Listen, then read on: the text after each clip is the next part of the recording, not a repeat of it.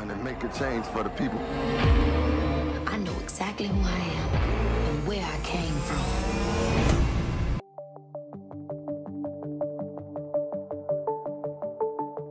Right, well the 2022 drama, Alice, starts off with inspired by true events. Yeah, sure, I would like to know in what alternate part of the multiverse did writer and director Krystin Ver Linden believe that this was an actual thing. The story of the movie is Alice, Keke Palmer, yearns for freedom as an enslaved person on a rural Georgia plantation under its brutal and disturbed owner Paul, Jonny Lee Miller. After a violent clash with Paul, she flees through the neighboring woods and stumbles onto the unfamiliar sight of a highway. Soon discovering the year is actually 1973. Rescued on the roadside by a disillusioned political activist named Frank Common, Alice quickly comprehends the lies that have kept her in bondage and the promise of black liberation.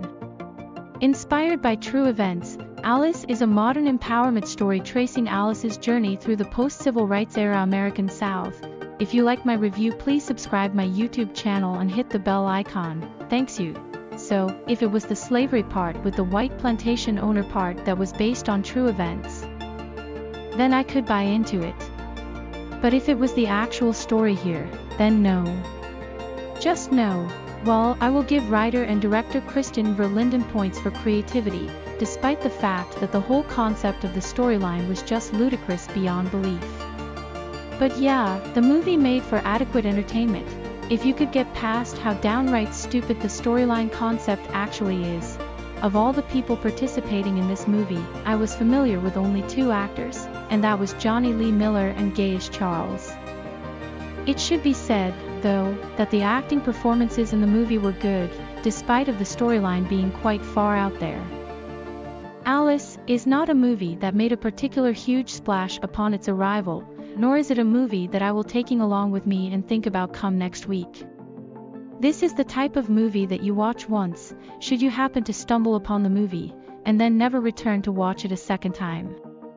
Then again, the storyline just doesn't have enough proper contents to it to support more than just a single viewing. This 2022 movie is a strange hybrid between an archetypical slavery story mixed with blaxploitation.